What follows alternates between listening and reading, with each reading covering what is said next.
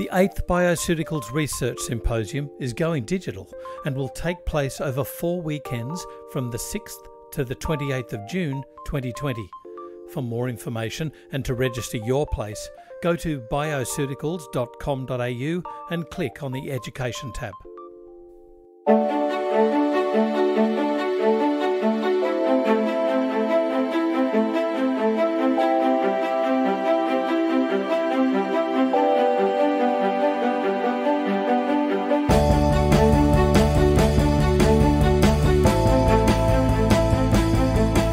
This is FX Medicine. I'm Andrew Whitfield Cook. Joining us on the line today is Dr. William Walsh. He's president of the non-profit Walsh Research Institute near Chicago and a key scientist driving the development of nutrient-based psychiatry. His book, Nutrient Power, which describes an evidence based nutrient therapy system, is the result of his over 30 years of research and clinical experience. In addition to ongoing research studies, Dr. Walsh directs an international physician education program in the US and in Australia, teaching advanced biochemical nutrient therapies, which are now used by over 800 doctors throughout the world. Welcome to FX Medicine. Dr. Walsh, how are you?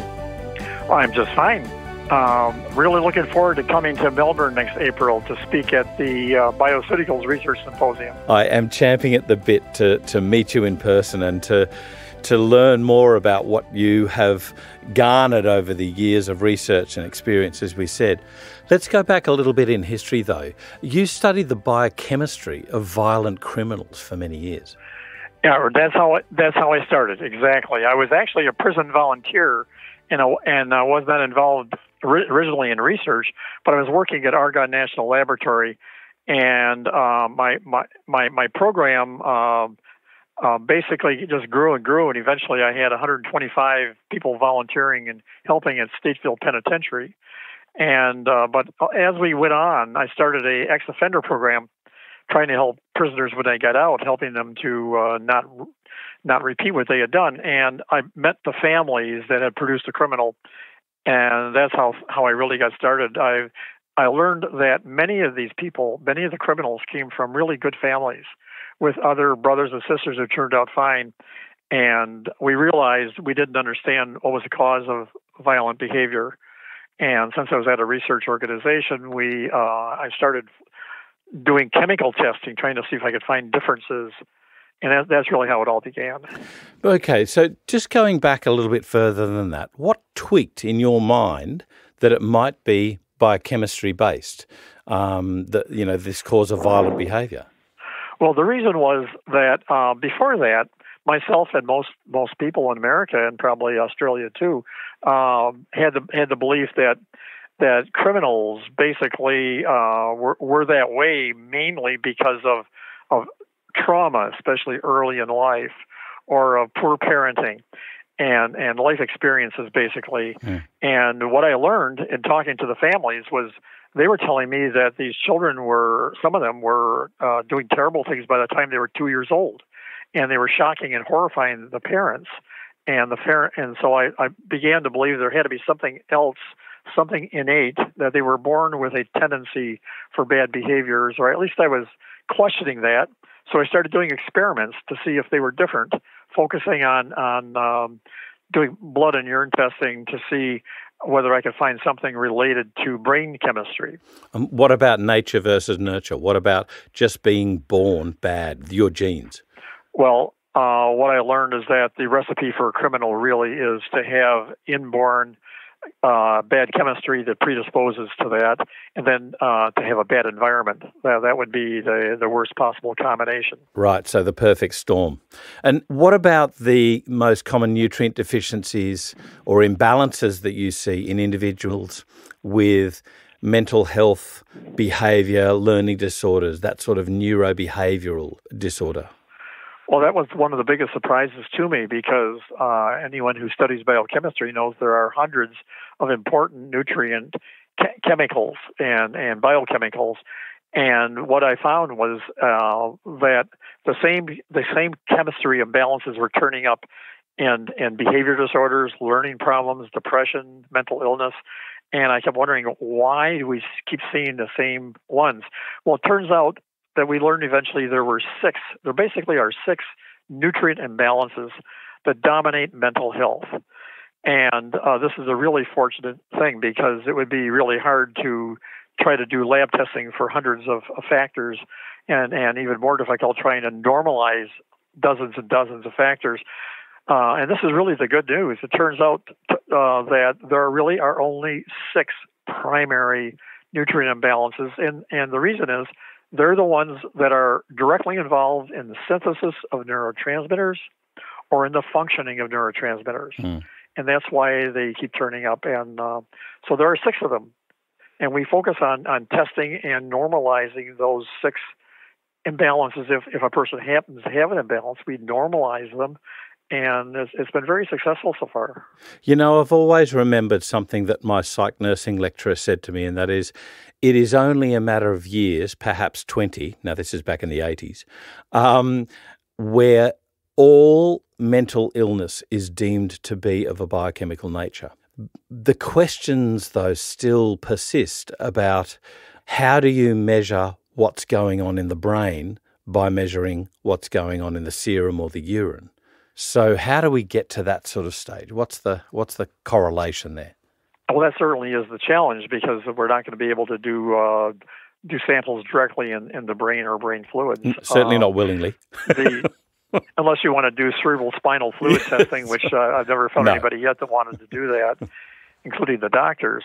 Um, no, what what we've learned is that um, we've we've I've now seen more than thirty thousand patients for whom I've done pretty extensive lab wow. testing, and I I have maybe the world's lar- I think I have the world's largest chemistry database for depression, for schizophrenia, for behavior disorders and ADHD, and even autism. And and by by looking at these studies and, and, and mining this data and studying it, we find that, that there are distinctly chemical imbalances related to specific mental disorders and that that gives an and there also are symptoms and traits associated with specific mental disorders and, and, and specific chemical imbalances. For example, people who are undermethylated are, uh, in general, they have about 10 or 15 really uh, typical tendencies that are different from other people. So we can we can do a good job of of diagnosis by doing first a, uh, a really quality, careful medical history, which gives us a lot of clues to their chemistry, and then of course to do some of the lab work that that can that can um, the two together can can make us very confident about diagnoses. And I think we're maybe 95% accurate in this process. Yeah. So when we're talking about these nutrients, like the, the ones that always stick up in my mind are the very simple ones zinc, B6, magnesium, over and over and over again. But, you know, when you speak about methylation, um, then we'd be talking more the the um, B12s, the folates, and things like that. Perhaps the zinc as well. How do you clinically tease apart what's happening in methylation depression, and do you work on the methylation cycle per se, or do you look upstream with what's happening biochemically? Well, I've I've learned that uh, that that the methylation cycle is important. However, doing that alone and looking at the SNPs is not nearly enough to learn how to help a patient. Mm.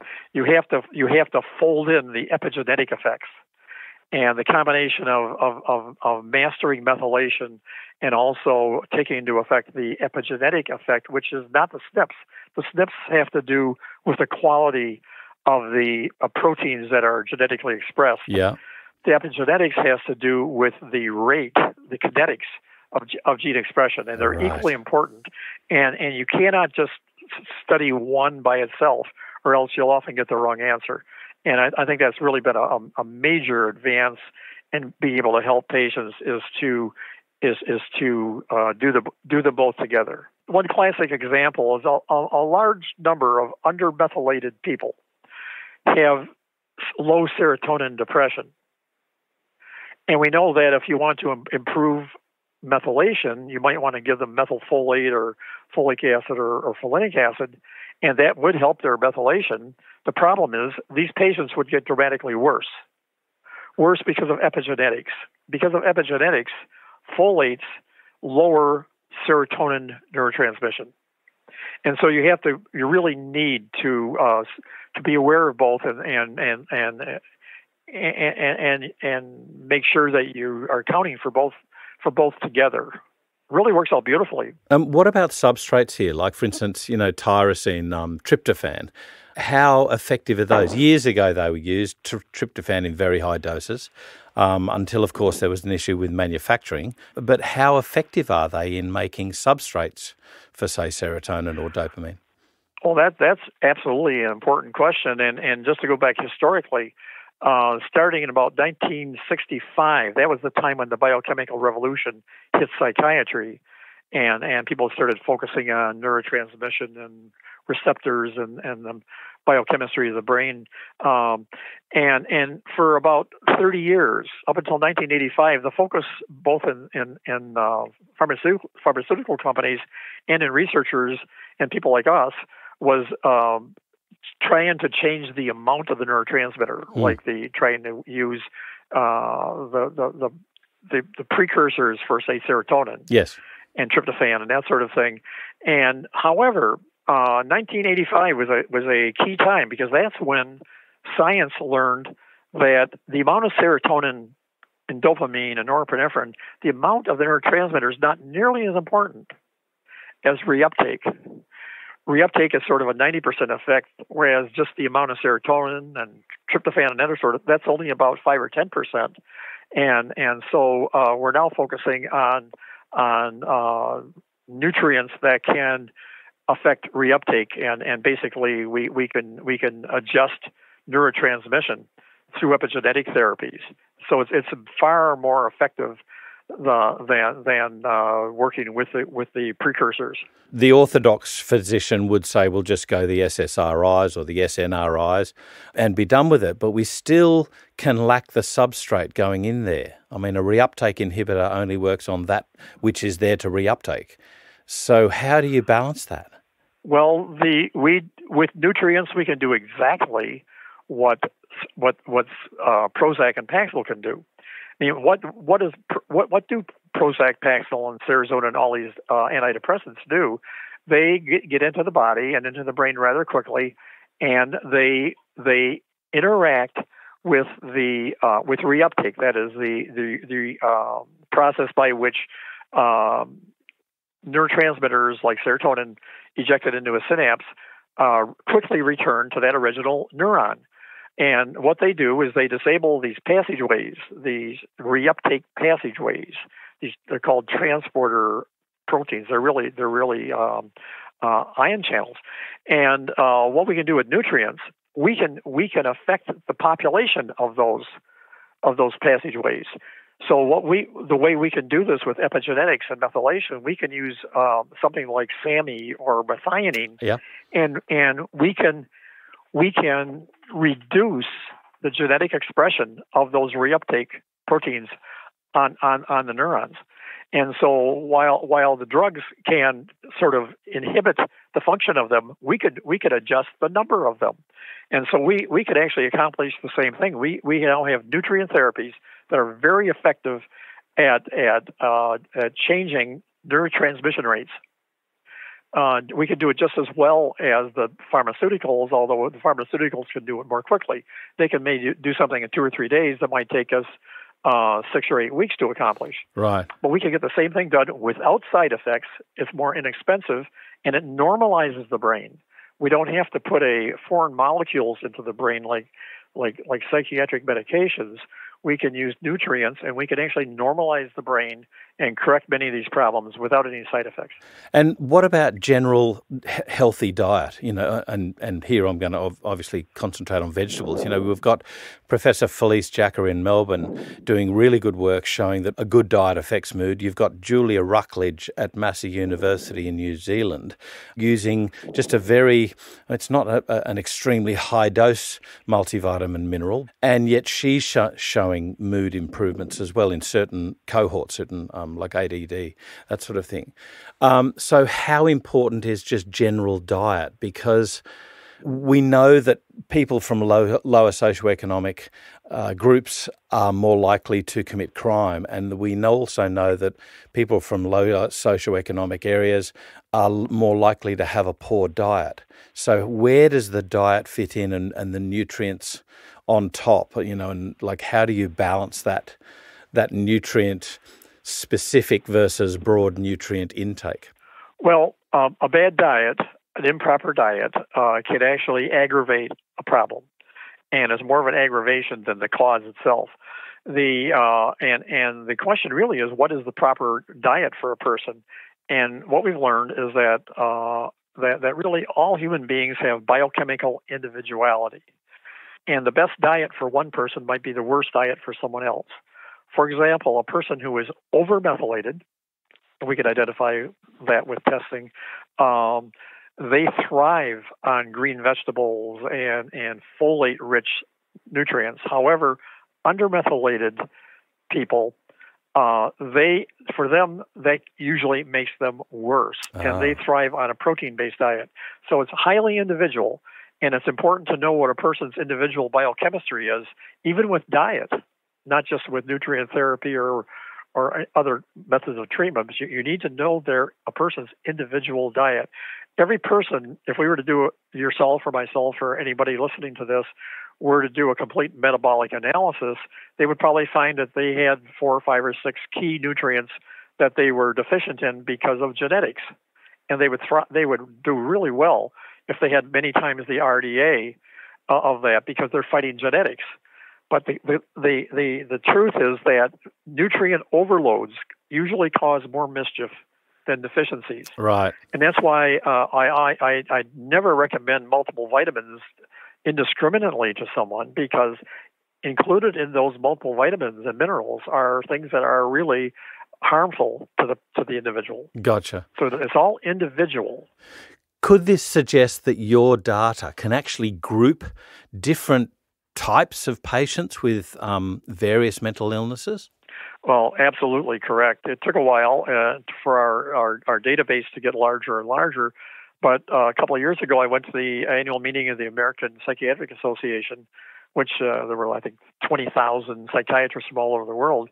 And I basically told them they were doing, I thought they were doing depression all wrong.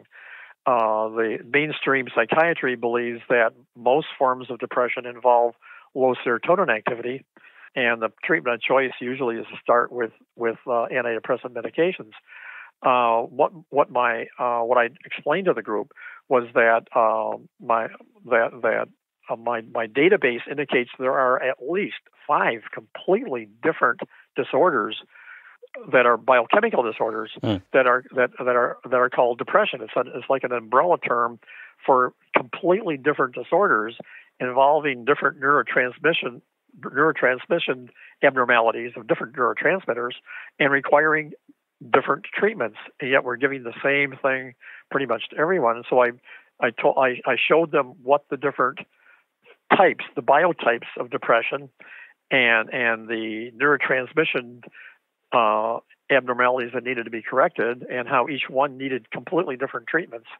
Um, I, and I, I, believe that's exactly what's going to be happening in future years. Uh, depression right. is not a single a single um, uh, disorder. It's a it's a name given of completely different disorders.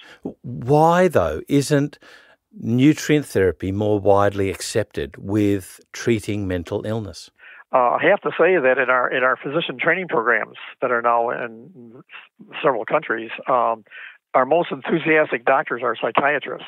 Right. They absolutely love to be able to take a patient and instead of just spending half an hour, an hour with them stroking their beard, wondering uh, what medication shall I give this person, they can now do inexpensive lab tests. They can identify which neurotransmitters are misbehaving and in what direction, and it can guide them um, even if, you know even with identifying the best or the most promising medication, but also it could it could show them how they could help these people uh, by by uh, correcting their chemistry in more natural manners.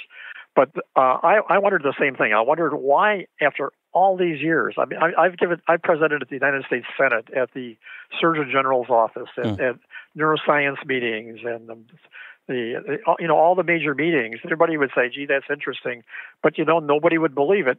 And and I finally realized they didn't believe that nutrients would have the power to help people.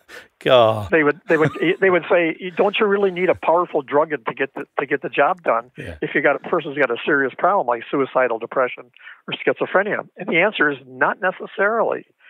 And that's why when I when I finally decided to write a book, uh, I I called the book Nutrient Power. I think that's what is really needed with mainstream medicine to, for them to realize that nutrients can have great power especially now that we understand methylation and epigenetics far more better than we did before.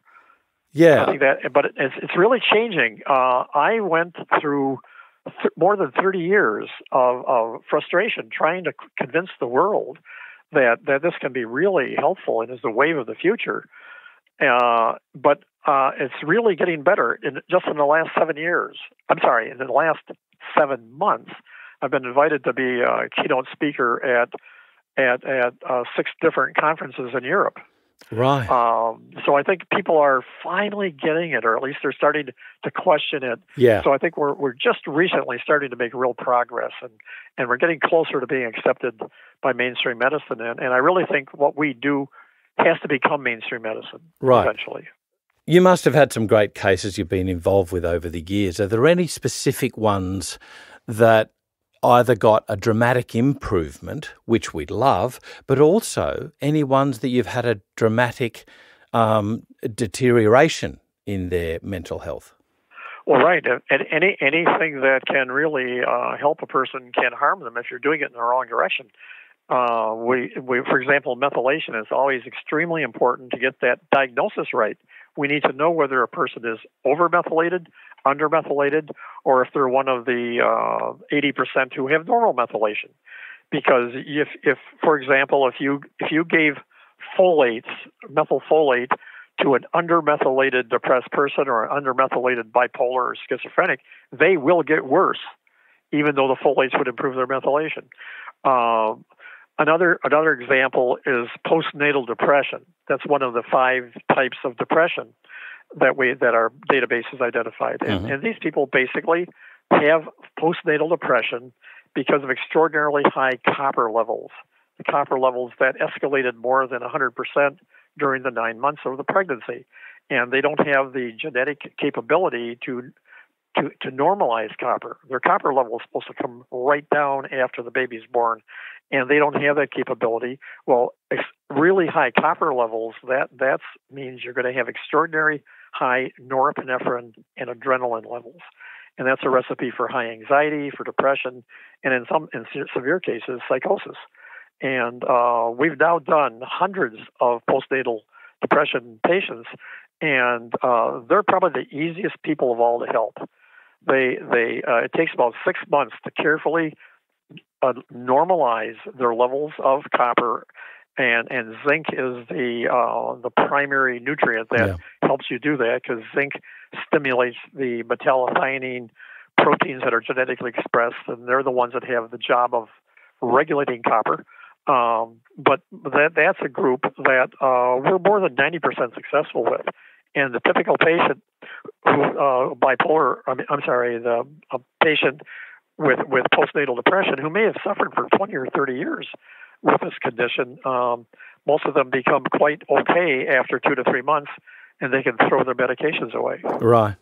Um, can I just ask a quick question here about genes? What genes influence copper metabolism?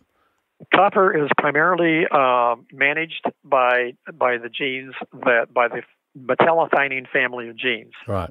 There are four members of four genes that are metallothionein genes, and and they have a number of roles in in biochemistry. But one of them is to regulate copper, and they do that uh, if if for example a person's copper level uh, elevates in, in, in, their blood, uh, that will be sensed, and what what happens then is that um, it, it greatly there's a great increase in the genetic expression of metallothionein, which then uh, essentially grabs onto some of this copper and prevents it from getting into the bloodstream. And, and that's how copper is regulated.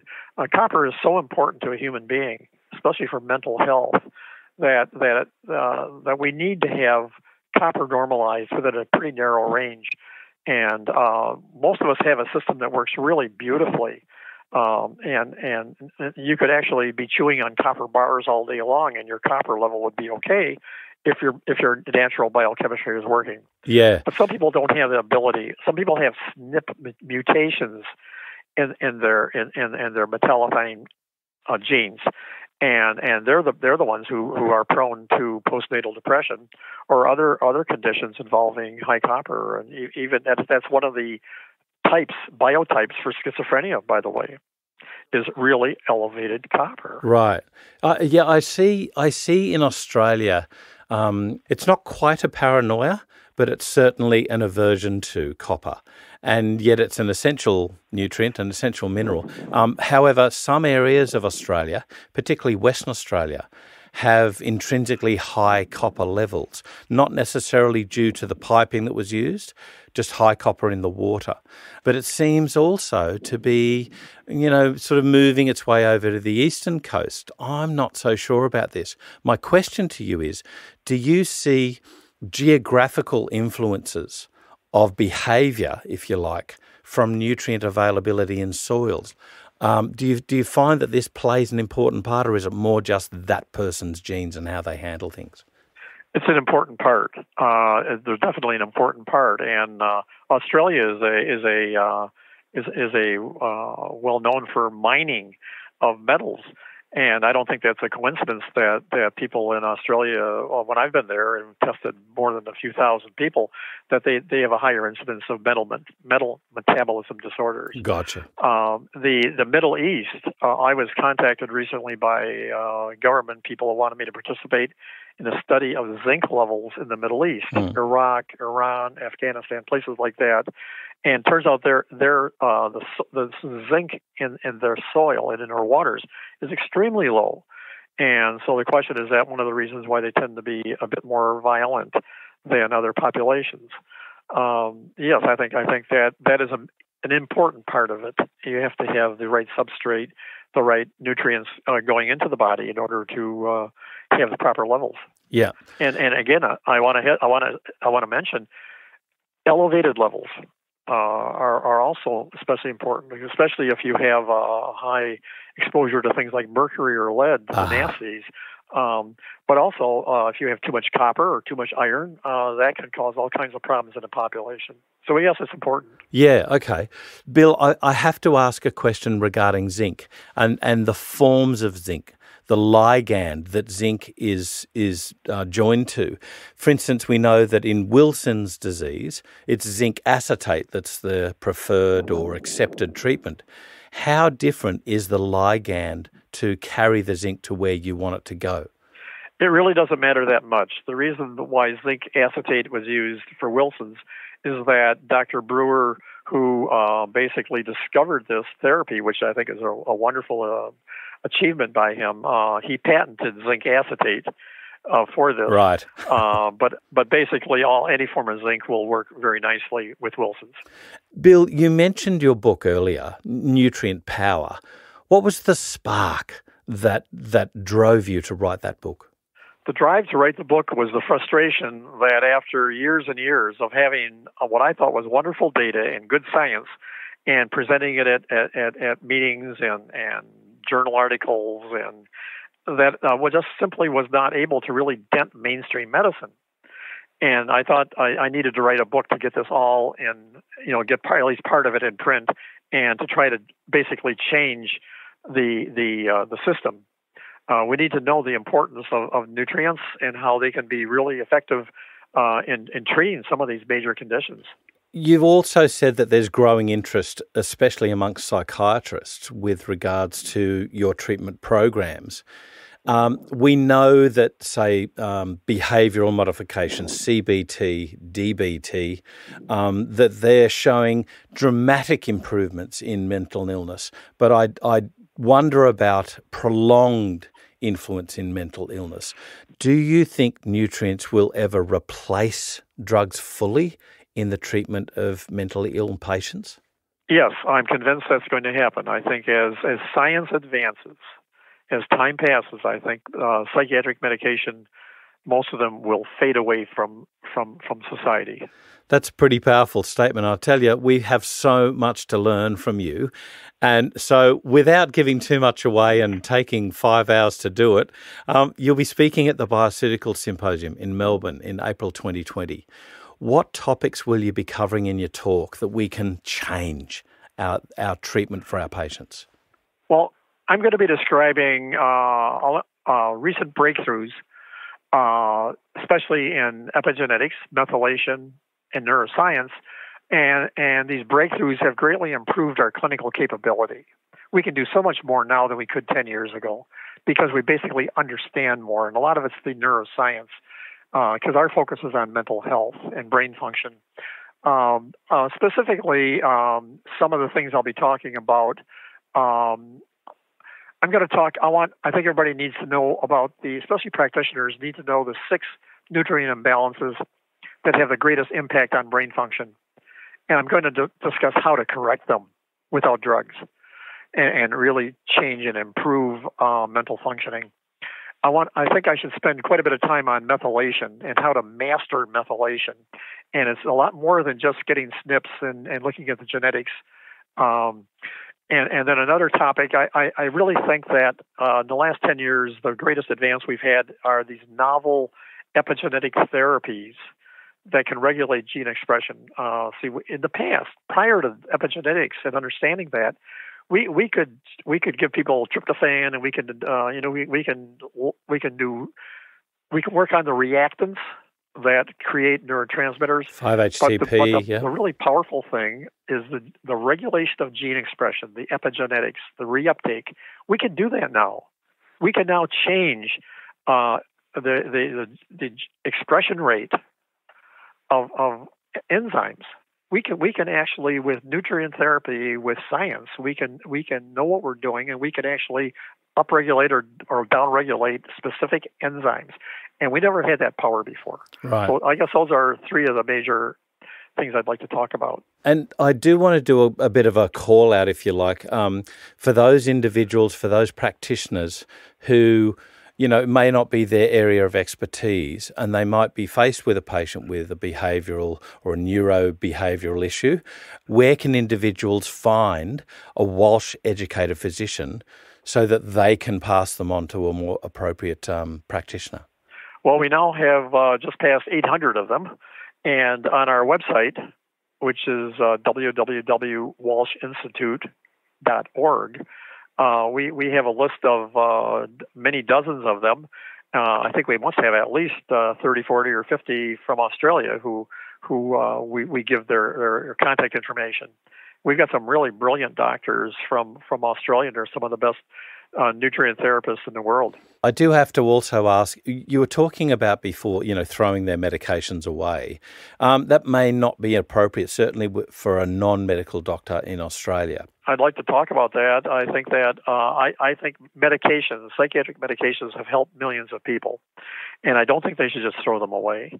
We need we need to we need to for science to advance to learn how we can achieve the same results that they can get with medications. I'm I'm, I'm certain that we'll, learn how to do that without having to resort to foreign molecules like like drugs. Uh, but at this time, uh, medications are extremely important, uh, and I, I, think that we, we we will gradually, as science advances, learn how to replace them with with with uh, better treatments. Yeah, I, I do remember, I do recall a, a study that used even just, I think it was zinc, to help SSRIs to work more effectively, and it was shown to be safe. So I, I guess there's this period I'm interested in about this period where nutrients can be used as an adjunct to help the patient in particularly through a difficult time. You're right, and and actually, uh, with these thirty thousand patients that we have worked with, I would say that probably 80, 90 percent of them were on a on a psychiatric medication that was helping them to some degree. Uh, in some cases, totally, and in other cases, partially. Mm. Uh, once we would do our our clinical work and we could identify chemical imbalances that could be corrected with nutrients, what we would do is we would demand, we would insist they stay on their medication at least for three or four months and do both treatments together. Do the do the drug medication together with our nutrient therapy. Right. Then after we have normalized their chemistry and we have a new reality, then we suggest that they go back to their psychiatrist and very slowly and carefully test lower and lower levels, really to see what the what the uh, what the optimum dose of the of the drug medication is. Now that there's a new reality, some of the problem corrected, in some cases all of it, and and so the the drug medications are a key part of our nutrient therapy, in that we like to, you know, we like to they're in harmony with each other. Nutrient therapy is in harmony with with uh, pharmaceutical medications and they work well together. And uh, what what happens with depression, for example, um, about 80 to 85 percent of the patients we work with uh, with depression uh, report to us, and their doctors report that they are greatly better. And so we and we also find out that when they do the try to wean from the medication, or at least to see where they're at their best, that roughly 80% tell us that they're at their very best with zero medication. Ah. However, 20% of our patients who are do- who have done the nutrient therapy tell us that if they go all the way to zero, that they lose something. Right. And we say, so be it. We are not against medications. We just want people to be functioning at their best. Sage advice from a true expert. Dr. Bill Walsh, I could talk to you forever. There's so much to learn. and I tell you, I feel like I've just chipped the very tip of the iceberg. I would urge everybody who's interested in helping their patients with mental health disorders, neurobehavioral disorders, to um, learn more from Bill Walsh, either if they're a medical doctor from uh, BioBalance in Australia and um, the Bill Walsh Institute over in America, and certainly by attending the 8th Bioceutical Symposium in Melbourne in 2020. Dr. Walsh, thank you so much for explaining uh, some of the neurochemistry to us today. This was this was very very enlightening. Thank you so much for joining us on FX Medicine. Well, you're certainly welcome. Enjoy talking to you, and I look forward to the uh, to the symposium. This is FX Medicine. I'm Andrew Whitfield Cook. The age of personalised medicine has arrived with Bioceuticals Clinical Services DNA testing. Advances in genetic testing mean that we can address an individual's health needs according to their unique genetic profile. For more information, please go to bioceuticals.com.au and click on the Education tab.